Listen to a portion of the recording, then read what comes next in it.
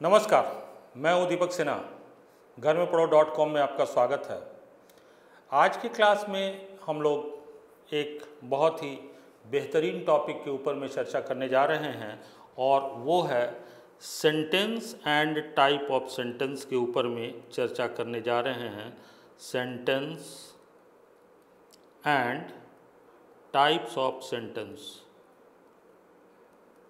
type of sentences इसके ऊपर में हम लोग चर्चा करने जा रहे हैं आज के क्लास में। अब क्वेश्चन यहाँ पर उठता है कि इस टॉपिक को पढ़ना क्यों आवश्यक है? इसका क्या रेलिवेंस है? इसकी क्या उपयोगिता है? क्या प्रासंगिकता है? ये बड़ा इंपॉर्टेंट है समझना और जानना। तो इसको ध्यान में रखते हुए हम लोग इस पर चर्चा करना शुरू करेंगे।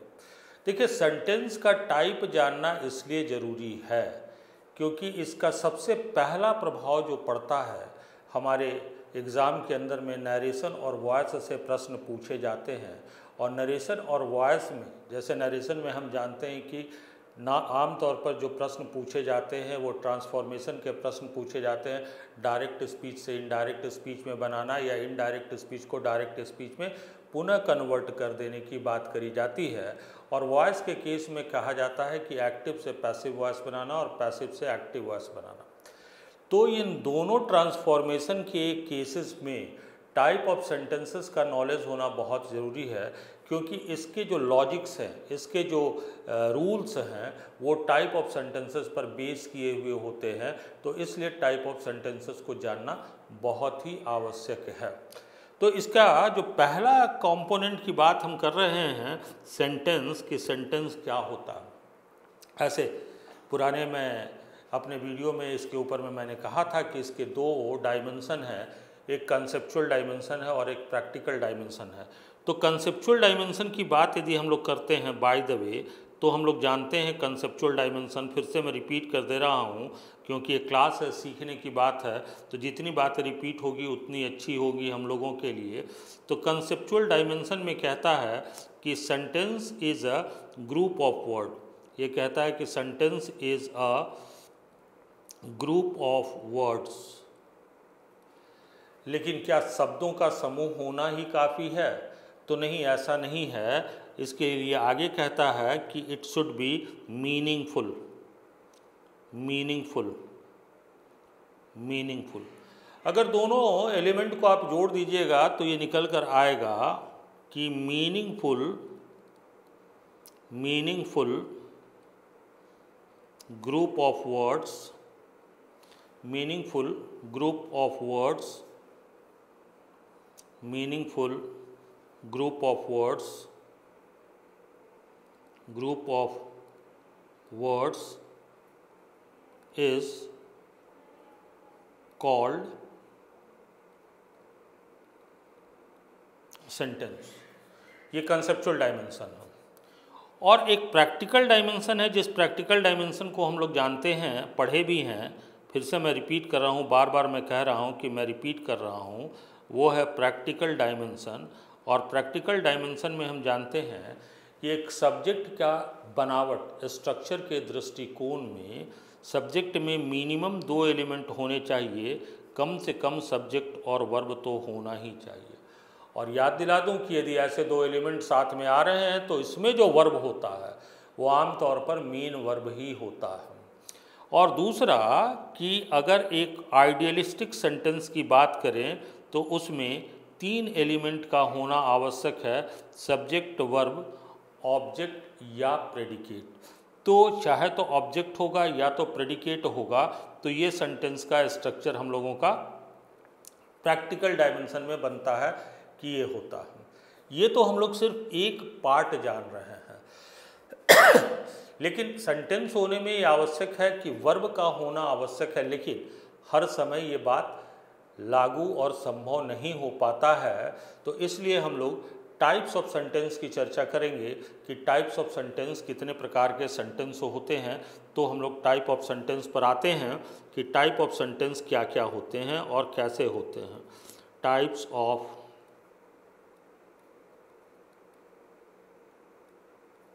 Sentence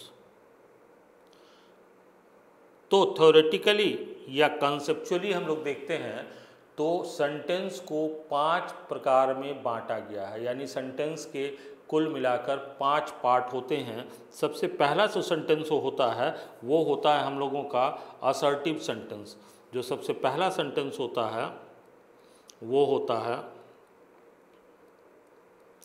assertive sentence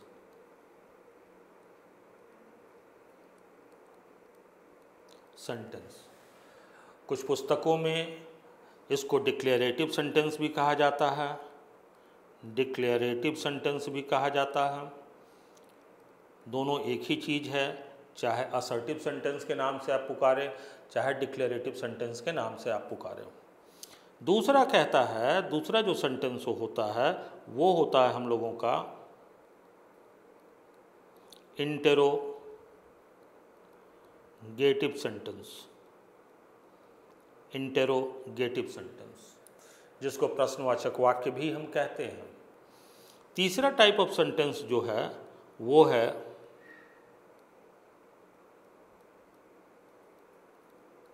imperative sentence सबको एक एक कर कर मैं एक्सप्लेन करूँगा कि ये क्या चीज़ें हैं।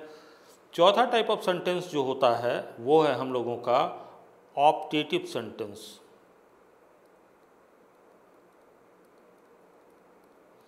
Optative sentence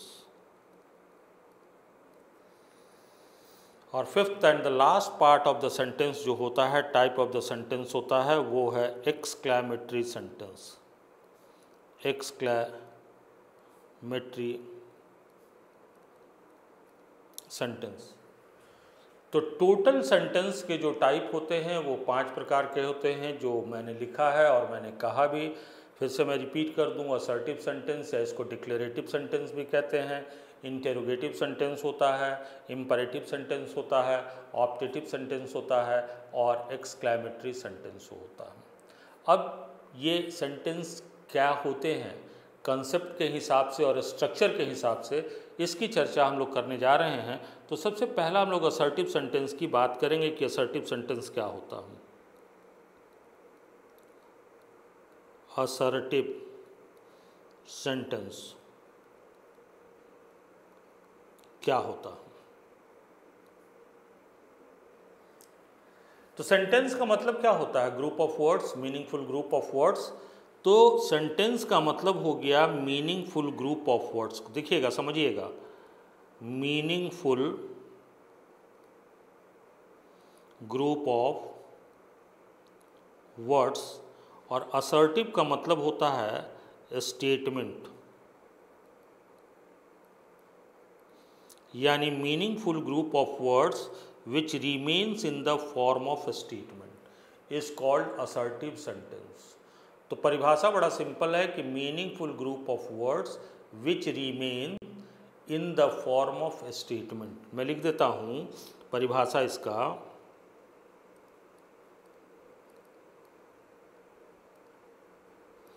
Meaningful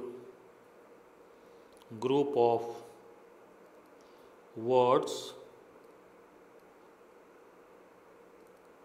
which remains in the form of statement अब सवाल है कि ये मीनिंगफुल ग्रुप ऑफ़ वर्ड्स के विषय में तो हम लोग जान रहे हैं कि इसमें अगर स्ट्रक्चर से चले तो सब्जेक्ट और वर्ब होना चाहिए और अगर आगे की बात करें, अगर इसके साथ जो मैक्सिमम एलिमेंट की बात करें आइडियलिस्टिक एलिमेंट की बात करें तो subject plus verb plus object या प्रेडिकेट होता है। तो असर्टिव सेंटेंस का स्वरूप जो होता है, वो पहला स्वरूप जो होता है, वो वही होता है कि सब्जेक्ट प्लस वर्ब होगा या दूसरा स्वरूप जो होता है, वो होता है subject plus verb plus object या प्रेडिकेट होता है। अब इसके अंदर में एक दूसरा एलिमेंट भी बड़ा महत्वपूर्ण एलिमेंट है और वो एलिमेंट है पंक्चुएशन मार्क। दूसरा एलिमेंट जो महत्वपूर्ण है, वो है पंक्चुएशन मार्क। पंक्चुएशन मार्क किसको कहते हैं? मार्क का मतलब होता है चिन्ह और पंक्चुएशन का मतलब होता है विराम देने वाला, यानी विराम देने वाला चिन्ह। इसको हम लोग कहते हैं पंक्चुएशन मार्क को विराम देने वाला चिन्ह। यदि हम लोग इसका हिंदी अनुवाद करें तो हिंदी अनुवाद इसका हो जाएगा विराम देने वाला चिन्ह। विराम देने वाला चिन्ह। और ये आप जानते हैं कि इंग्लिश में ये पंक्चुएशन मार्क बहुत सारे होते हैं, जैसे फुल स्टॉप होता है, पंक्चुएशन मार्क जो होते हैं वो हम लोगों का होता है। फुल स्टॉप होता है, कॉमा होता है, कोलोन होता है सेमी कोलोन होता है, हाइफन होता है, नोट ऑफ़ एक्सक्लेमेशन होता है, नोट ऑफ़ इंटेरोगेशन होता है। तो ये सब जो है हम लोगों के पंक्चुएशन मार्क के अंतर्गत आते हैं तो इसको हम लोग बोलते हैं पंक्चुएशन मार्क।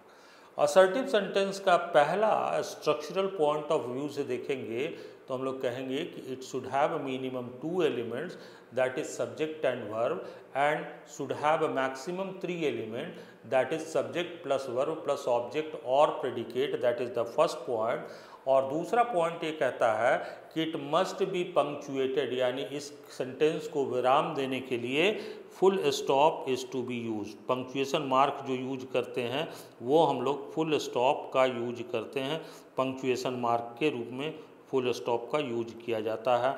ये बात को ध्यान में रखेंगे हम लोग। तो ये असर्टिव सेंटेंस का दो प्रॉपर्टी निकल कर चलाया कि ये स्टेटमेंट के फॉर्म में होता और स्टेटमेंट किसको कहते हैं? जो कि सब्जेक्ट और वर्ब से मिलकर बना हो या सब्जेक्ट वर्ब या ऑब्जेक्ट से मिलकर बना हो। और दूसरी मुख्य बात निकल कर आती है कि इसके अंत में पंक्चुएशन मार्क के तौर पर हम लोग फुल स्टॉप का प्रयोग करते हैं, जो कि यहाँ आपको मैं बता रहा हूँ। असर्टिव सेंटेंस के बाद दूसरा टाइप ऑफ़ सेंटेंस जो हम लोगों का आता है, वो आता है इंटेरोगेटिव सेंटेंस दूसरा टाइप ऑफ़ सेंटेंस जो आता है, वो है इंटेरोगेटिव सेंटेंस तो second type of sentence is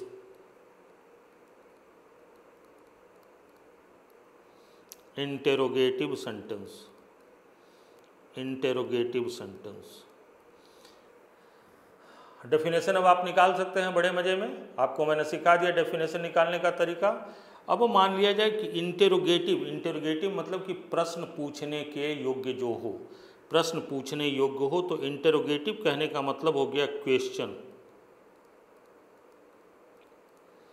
और सेंटेंस कहने का मतलब आपको अभी बताकर लाए थे, वो होता है meaningful group of words meaningful group of words अब ये दोनों एलिमेंट को मिला दीजिए तो क्या निकल कर आएगा? Meaningful group of words which remains in the form of question और which helps to ask the question जो प्रश्न पूछने में मदद पहुंचाता है, उसको इंटेरोगेटिव सेंटेंस कहते हैं।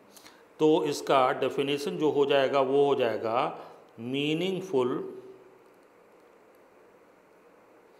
meaningful group of words which remains which remains in the form of question in the form of question. Or or which helps to, which helps to ask to ask question, जो question पूछने में मदद पहुंचाता है। अब देखिए assertive sentence में हम लोगों ने देखा था कि एक दूसरा प्रॉपर्टी भी देखा था और वो प्रॉपर्टी देखे थे पंक्चुएशन मार्क का और असर्टिव सेंटेंस में हम लोग बात कर रहे थे कि assertive sentence gets punctuated with the help of full stop तो इंटेरोगेटिव सेंटेंस में क्या हो सकता है? इंटेरोगेटिव सेंटेंस में होगा कि interrogative sentence gets punctuated in note of interrogation और question mark it gets it gets punctuated punctuated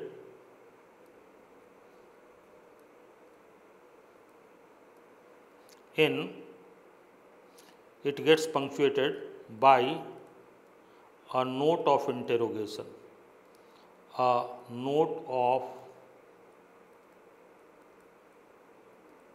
interrogation और या इसी को हम लोग बोलते हैं क्वेश्चन मार्क क्वेश्चन मार्क प्रश्न चिन्ह जिसको कहते हैं, जो कि इस रूप में होता है। ये तो हो गया कॉन्सेप्चुअल बातें हो गई। इसका स्ट्रक्चर क्या होता है? इसका स्ट्रक्चर की बात करेंगे, यदि स्ट्रक्चरल पॉइंट पर इस पर डिस्कस करेंगे स्ट्रक्चर पॉइंट पर स्ट्रक्चरल पॉइंट पर डिस्कस करेंगे तो इसके दो प्रकार के स्ट्रक्चर होते हैं। पहला स्ट्रक्चर जो होता है, वो होता है द वेरी फ़र्स्ट स्ट्रक्चर वो होता है helping verb plus subject plus main verb plus object या प्रेडिकेट और इसके अंत में क्वेश्चन मार्क लगा दिया जाता है। तो ये हो गया, एक स्ट्रक्चर हो गया जिसको कि हम लोग फॉलो करते हैं। जैसे मान लिया जाए फॉर एग्जांपल यदि हम लोग लिखते हैं कि is Ram going to college अभी ऊपर जो स्ट्रक्चर लिखे हैं, उसके हिसाब से यदि विश्लेषण करते हैं तो ये हेल्पिंग वर्ब हो गया, ये सब्जेक्ट हो गया, ये मेन वर्ब का रूप हो गया और ये हम लोगों का ऑब्जेक्ट का रूप हो गया। जो ऊपर स्ट्रक्चर हम लोग बात कर रहे थे, उसी स्ट्रक्चर को हम लोग फॉलो कर रहे हैं और यहाँ पे नोट ऑफ़ इंट्रोगेशन जो आप देख रहे हैं, प्रश्नवाचक चिन्ह लग गया। तो एक स्ट्रक्चर तो इसका ये होता है। दूसरा स्ट्रक्चर है कि interrogative sentence W H word या हाउ के सहायता से भी बनाई जाती है। तो दूसरा स्ट्रक्चर इसका है, ये पहला है। दूसरा स्ट्रक्चर जो इसका निकल कर आएगा कि इंट्रोगेटिव सेंटेंस जो है डब्ल्यू एच वर्ड या हाउ से भी बनाई जाती है। डब्ल्यू एच वर्ड या हाउ से भी बनाई जाती है। अब सवाल यहाँ पर है कि what is this W H word तो डब्ल्यू एच वर्ड कहने का मतलब कि वो सारे शब्द जिसके पहले दो लेटर डब्ल्यू एच हुआ करेंगे, वैसे शब्दों को हम लोग डब्ल्यू एच वर्ड कहते हैं। और आपकी जानकारी के लिए मैं बता दूँ डब्ल्यू एच वर्ड के श्रृंखला में जैसे कि वाई हो गया। वाई हु हो गया। हु वाट हो गया। वेन हो गया। वेयर हो गया, विच हो गया,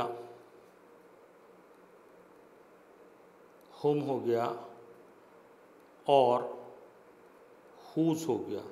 ये सारे डब्ल्यू एच वर्ड के रूप में जाने जाते हैं डब्ल्यू एच वर्ड के रूप में जाने जाते हैं। लेकिन हुज का प्रयोग हम डायरेक्टली इस क्वेश्चन पूछने के लिए नहीं करते हैं, क्योंकि ये जाकर एडजेक्टिव की तरह काम करने लगता है। यदि इससे प्रश्न बनाना हो तो इसके साथ नाउन लगाकर, तब हेल्पिंग वर्ब लगाकर और फिर मेन वर्ब का प्रयोग कर कर हम लोग ऐसा बना सकते हैं। और इसके अतिरिक्त जो दूसरा शब्द है, वो है हम लोगों का हाउ हाउ से भी हम इंटेरोगेटिव सेंटेंस बना सकते हैं। यहाँ पर दो चीज़ें लर्न करनी है डब्ल्यू एच वर्ड का आ, क्या क्या एप्लीकेशन होता है इसको हमको अच्छी तरह से समझना है।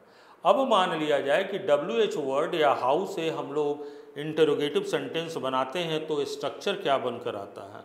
तो स्ट्रक्चर जो बनकर आता है इसमें स्ट्रक्चर जो बनकर आता है वो आता है हम लोगों का कि डब्ल्यू एच वर्ड होगा या हाउ होगा। और उसका जो पहला स्ट्रक्चर है वो पूरा का पर पूरा उठकर चला आएगा। और वो स्ट्रक्चर पहला जो था कि यहाँ पर हेल्पिंग वर्ब होगा, फिर जाकर सब्जेक्ट होगा, फिर मेन वर्ब होगा, फिर ऑब्जेक्ट होगा या प्रेडिकेट होगा और अंत में प्रश्नवाचक चिन्ह लग जाएगा। अगर ये स्ट्रक्चर मिल रहा है तो वो इंटेरोगेटिव सेंटेंस का स्ट्रक्चर माना जाएगा। जैसे फॉर एग्ज़ाम्पल अगर हम लोग कहते हैं कि suppose why have you decided to play cricket. अगर इसका हम एनालिसिस करें, ऊपर वाले स्ट्रक्चर से तो देखिए बड़ा सिंपल है कि ये डब्ल्यू एच वर्ड है। ये हम लोगों का हेल्पिंग वर्ब है। ये हमारा सब्जेक्ट है। ये हमारा मेन वर्ब है। और ये हमारा ऑब्जेक्ट है, जहाँ पर ये इन्फिनेटिव है। और इन्फिनेटिव के बाद आप एक पुनः ऑब्जेक्ट का प्रयोग कर सकते हैं। और इन्फिनेटिव भी जो है ऑब्जेक्ट का काम करता है, क्योंकि ये सब्जेक्ट और ऑब्जेक्ट की तरह सेंटेंस में यूज़ किया जाता है। वर्ब में जब हम फाइनाइट वर्ब और इनफाइनाइट वर्ब की चर्चा आपसे करेंगे, तब वहाँ इन्फिनेटिव के डिटेल प्रॉपर्टी को मैं आपको बताऊँगा। वर्ब क्या एक वीडियो मैंने जारी किया है, जिसमें कि हेल्पिंग वर्ब के ऊपर में मैंने आपको बताई है और उसका श्रृंखला आगे आने वाले दिनों में आपको मिलेगा। इसी तरह अगर हाउ से भी हम लोग सेंटेंस बनाना चाहते हैं तो ऐसा लिखते हैं कि how has he received this message ये थोड़ा सा इस तरह से आप पढ़ लीजिएगा how has he received this message अब यहाँ पर भी यदि देखते हैं तो हाउ हो गया। ये हैज़ हेल्पिंग वर्ब हो गया ही सब्जेक्ट हो गया रिसीव्ड मेन वर्ब हो गया मैसेज ऑब्जेक्ट हो गया, और इसके लिए दिस जो है, वो एडजेक्टिव का काम कर रहा हूँ। वर्ब के प्रॉपर्टी में मैं बताऊँगा कि वर्ब का एप्लीकेशन कैसे कैसे होता है, फिर आप इसको रिलेट करिएगा तो बहुत आनंद आएगा, आप इंजॉय करिएगा, लगेगा कि इंग्लिश खेल खेल की बात है। अब यहाँ पर समझना एक बात बड़ा आवश्यक है। कि ये तो स्ट्रक्चर जो है, ये तो इंटेरोगेटिव सेंटेंस का स्ट्रक्चर है। लेकिन डब्ल्यू एच वर्ड का प्रयोग कर कर या हाउ का प्रयोग कर कर यदि हम वाक्य को लिखते हैं तो वो वाक्य का स्वरूप असर्टिव भी हो जाता है। यानी कि डब्ल्यू एच वर्ड और how can be use in the formation of assertive sentence as well सवाल है कि किन कंडीशन में ये इंटेरोगेटिव होगा और किन कंडीशन में असर्टिव होगा? तो एक बात तो समझ में आ रहा है कि इंट्रोगेटिव होने के लिए कंडीशन ये है कि डब्ल्यू एच वर्ड या हाउ के बाद हेल्पिंग वर्ब होना चाहिए, फिर सब्जेक्ट होना चाहिए, फिर मेन वर्ब फिर ऑब्जेक्ट या प्रेडिकेट होना चाहिए। लेकिन जब यह असर्टिव सेंटेंस की तरह बिहेव करना शुरू कर देगा तो डब्ल्यू एच वर्ड के बाद सब्जेक्ट होगा सब्जेक्ट के बाद वर्ब का कॉम्बिनेशन हो सकता है या सिंगल वर्ब हो सकता है और फिर ऑब्जेक्ट या प्रेडिकेट होगा। तो सीखने का जो विषय है यहाँ पर, वो ये है कि this is the first dimension कि डब्ल्यू एच वर्ड से हम लोग इंटेरोगेटिव सेंटेंस बना सकते हैं। और नंबर सेकेंड डायमेंशन जो है कि डब्ल्यू एच वर्ड की सहायता से हम लोग सेकेंड डायमेंशन जो है कि डब्ल्यू एच वर्ड की सहायता से हम लोग द सेकेंड डायमेंशन इज़ कि डब्ल्यू एच वर्ड की सहायता से हम लोग डब्ल्यू एच वर्ड और how can also be used can also be used in the formation of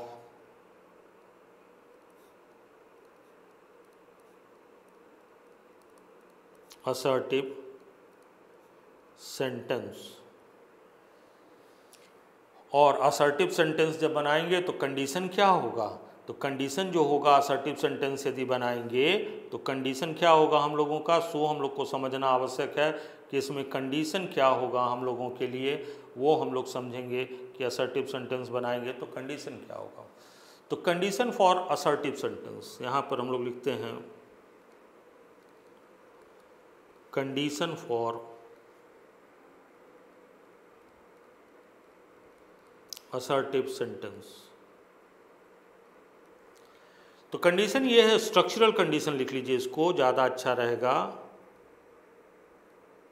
Structural condition for assertive sentence तो स्ट्रक्चरल कंडीशन ये होगा कि डब्ल्यू एच वर्ड होगा या हाउ होगा और उसके बाद सब्जेक्ट होगा और ये वर्ब होगा। अब वर्ब चाहे तो हेल्पिंग वर्ब हो, चाहे तो मेन वर्ब हो, या कॉम्बिनेशन ऑफ़ हेल्पिंग वर्ब और मेन वर्ब हो। यहाँ पर मैं लिख देता हूँ कि यहाँ पर तीनों संभावनाएँ हो सकती है। हेल्पिंग वर्ब हो सकता है मेन वर्ब हो सकता है, और it will be combination of helping verb और मेन वर्ब हो सकता है, जो पीछे के एक वीडियो में मैं आपको बता रहा था। और इसके बाद ऑब्जेक्ट या प्रेडिकेट होगा और पंक्चुएशन मार्क में फुल स्टॉप लगेगा। ये फ़र्क है।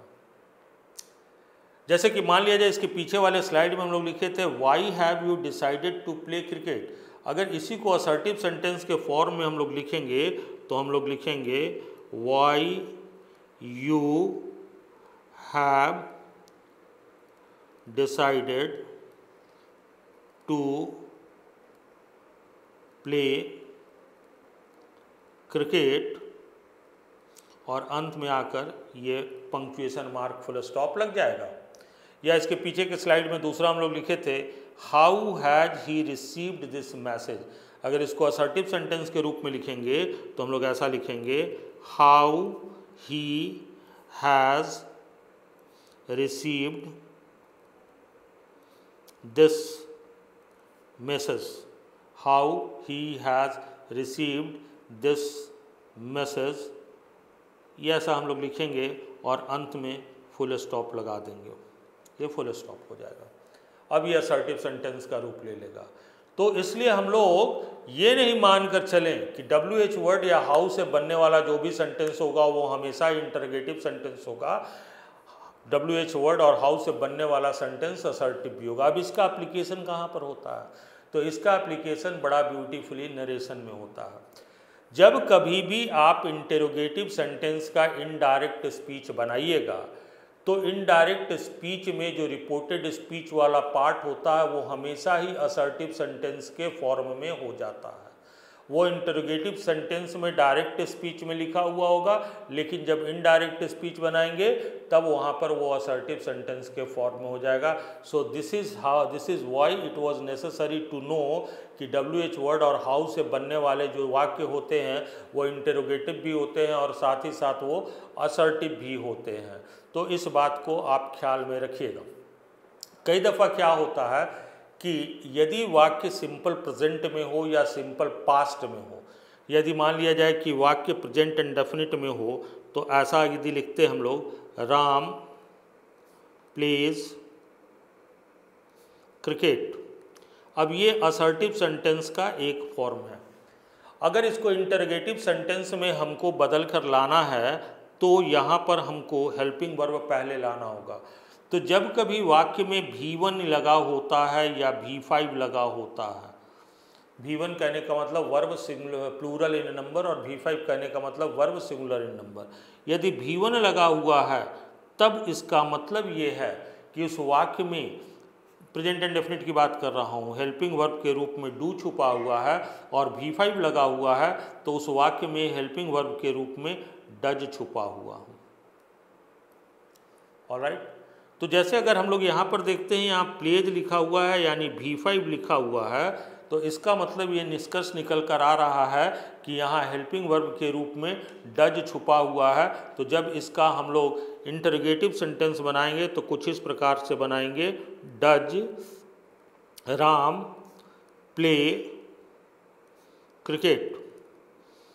Verb का और अंत में प्रश्नवाचक चिन्ह लगाएँगे। वर्ब का एक रूप में बताया हूँ, लेकिन अभी एप्लीकेशन नहीं बताया हूँ, लेकिन यहाँ पर मैं बता रहा हूँ कि जिस किसी वाक्य में डू डज या बाय द वे डिड का प्रयोग किया गया हो तो वैसे वाक्य में मेन वर्ब हमेशा भी वन फॉर्म में आ जाता है। जैसे यहाँ आप देख रहे हैं कि मेन वर्ब भी वन फॉर्म में आ गया है, वो इसलिए आ गया है कि डज जो है, वो इसमें लगा हुआ है।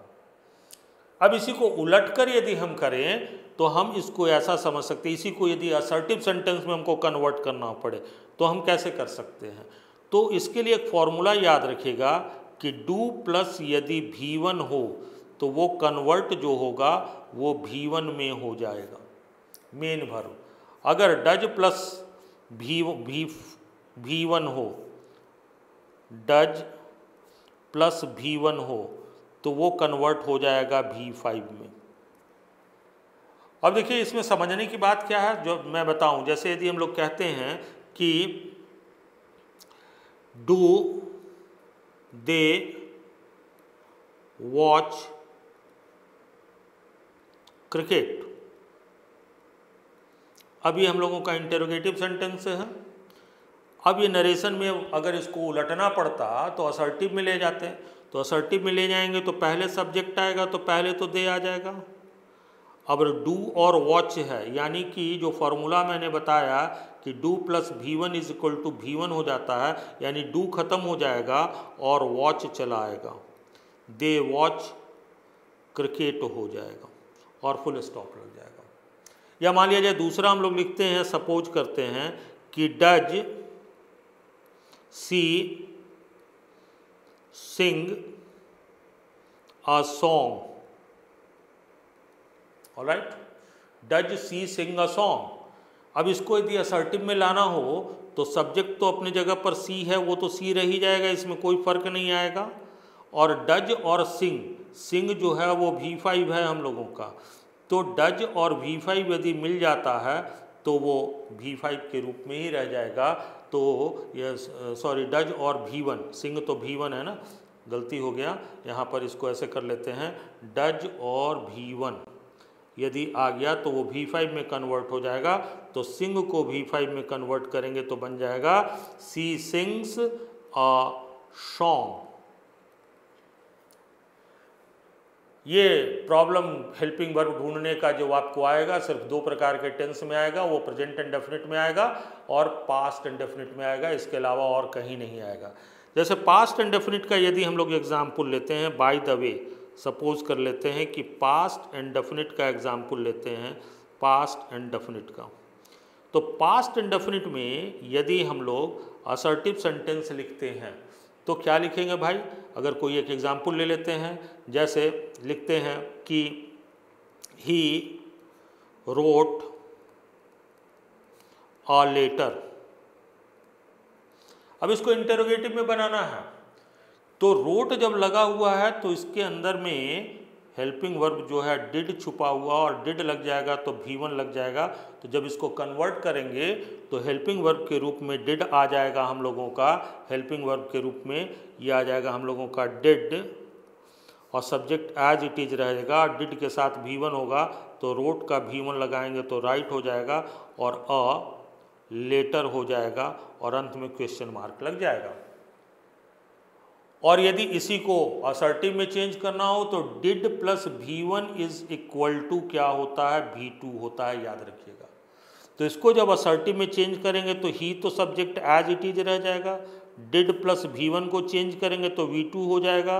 तो ये हो जाएगा रोट और ये हो जाएगा a letter so he wrote a letter और अंत में ये फुल स्टॉप हो जाएगा। तो ये समस्या सिर्फ़ आपको इसी दो प्रकार के टेंसेस में आएँगे। बाद बाकी सारे प्रकार के टेंस में हेल्पिंग वर्ब साथ में लगा होता है तो इसलिए उसको असर्टिव से इंटरगेटिव बनाना और इंटरगेटिव से असर्टिव बनाने में आपको कोई कठिनाई और परेशानी नहीं होगी।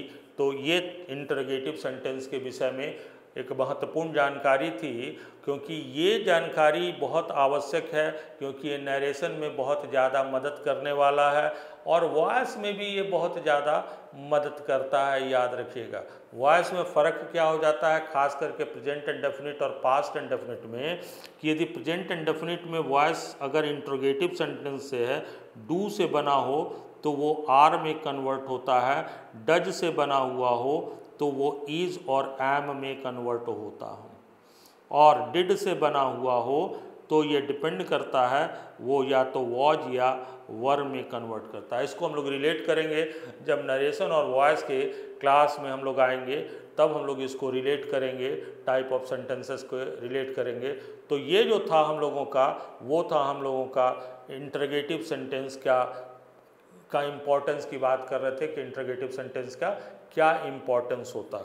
इसके बाद नेक्स्ट टाइप ऑफ़ सेंटेंस जो बच गया, वो हम लोगों का बच गया imperative sentence optative sentence and exclamatory sentence तो ये जो तीन प्रकार के सेंटेंस हैं imperative optative and exclamatory sentence ये श्रृंखला की अगली कड़ी में मैं आपको बताऊँगा सेंटेंस के इसी श्रृंखला के अगली कड़ी में बताऊँगा।